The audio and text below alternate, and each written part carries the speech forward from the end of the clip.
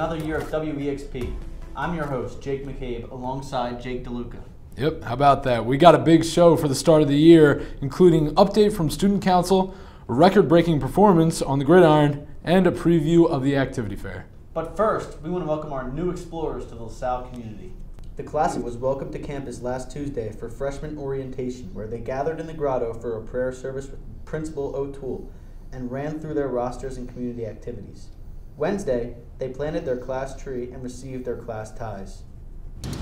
I've been working with 14-year-old young men since 1982. I know that some of you will have lost this tie before the first day of classes after Labor Day. Others will have it rumpled and stained beyond recognition before Thanksgiving. But in other cases, your mothers will save it in tissue paper bring it out for key events, honors convocation, ring ceremony, graduation. A few of you will do the same for reunions throughout the years. And perhaps on a day like this, 30 years hence, when your own son enrolls.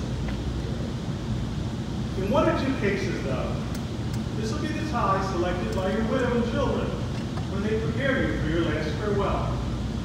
Chosen because they recognize LaSalle as the most significant institutional relationship of your life. The place that more than any other made you the man you were, the man they loved. Thank you, Brother James. Our annual activity fair is coming up on Wednesday, September 11th, during community period. It's a great way to learn about the 50 plus clubs we have available here at LaSalle. With more, here's the new Director of Student Activities, Mrs. Stott. I'm here today with Mrs. Stott, the Director of Student Activities, here to talk about the activity fair. So just a few questions. Uh, when's the activity fair taking place and where's it going to be? The activity fair is on Wednesday, this Wednesday coming up on the 11th, and it's in the auditorium. And it takes place for, during the entire community time. So anytime between 11:30 and 12:30, students can stop by in the auditorium to take a look. And what are some benefits of going to the activities fair for like these freshmen and even the older grades? So for freshmen, it's definitely different because we want them to come and see what we have to offer. We actually have over 50 clubs now at LaSalle, um, and most of them are voluntary enrollment, meaning that you can just sign up on the day of the activity fair and make sure that you get in the club.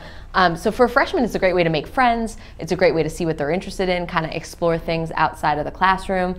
Um, for upperclassmen, we still want upperclassmen to come absolutely because we want more involvement in activities that we have here. We have a, a lot of really awesome clubs here. Besides the, the, idea of the activities fair alone, what's the uh, the big stress on early involvement and like why is this important for like just freshmen going forward?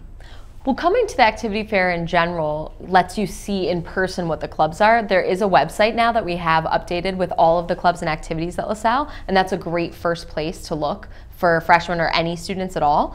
Um, but when you go to the activity fair, you're going to actually get to talk one-on-one with people about what their club is, what they do in their club, why they like their club, and you're going to get to sign up and receive information from the club moderators and the students in the club as well. In terms of getting involved early. Um, this is the way that you make friends, freshmen. This is a, a, great way to make friends and meet some new guys at LaSalle that maybe didn't go to your old school, um, think guys that are into the same kind of things that you are.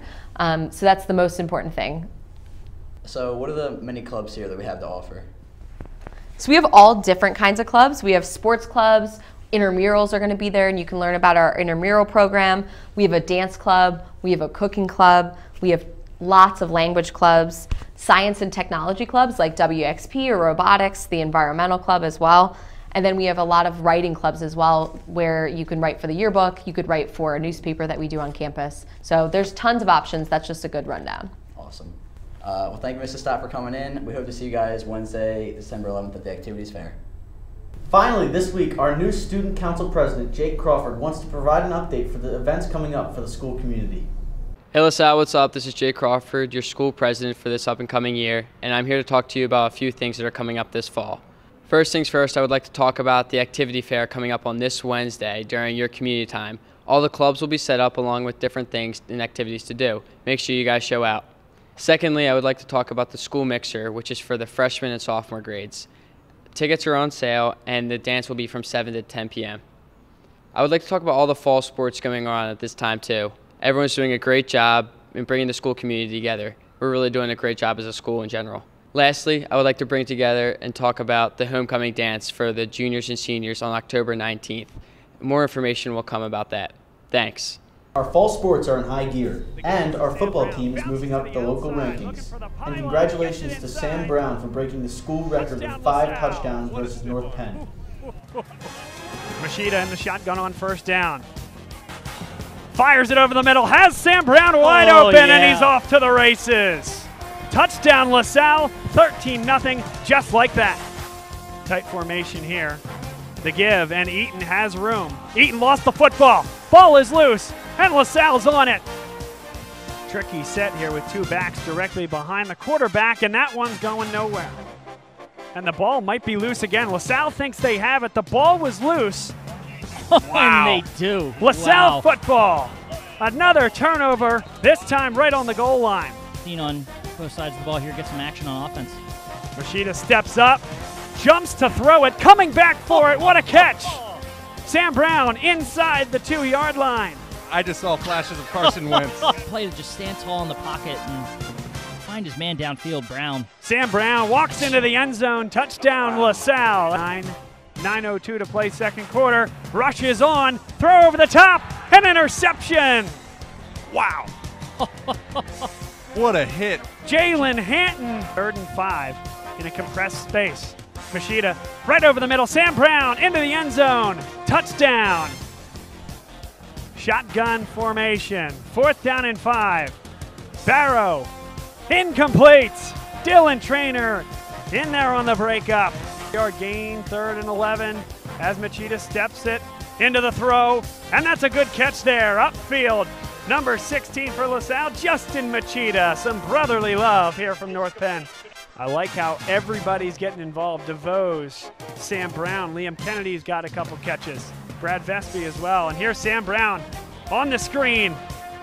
He's going to beat everybody to the end zone. Touchdown, LaSalle. About the clock or the pep band. Here's Mayo Howell. Jukes Oh, one out of his shoes and he's gone. That Touchdown boy- for the freshman Mayo Howell. How do you do? Stay up to date with all of our sports teams on Twitter all season long. Student updates will be posted all year long on the Student Council Twitter. Check it out on the student portal. Do you have what it takes to be the next explorer? Details on how to apply are in the Daily Bulletin. Thanks for watching. Good luck this year, new explorers, and hail LaSalle.